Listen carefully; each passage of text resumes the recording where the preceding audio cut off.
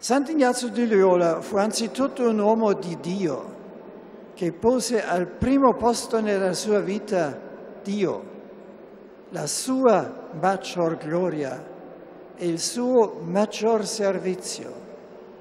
Fu un uomo di profonda preghiera, che aveva il suo centro, il suo culmine nella celebrazione eucaristica quotidiana.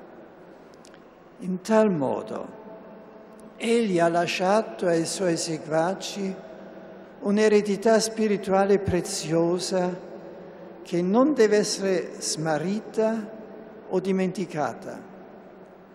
Proprio perché uomo di Dio, Sant'Ignazio fu fedele servitore della Chiesa, nella quale vide e venerò la sposa del Signore e la madre dei cristiani.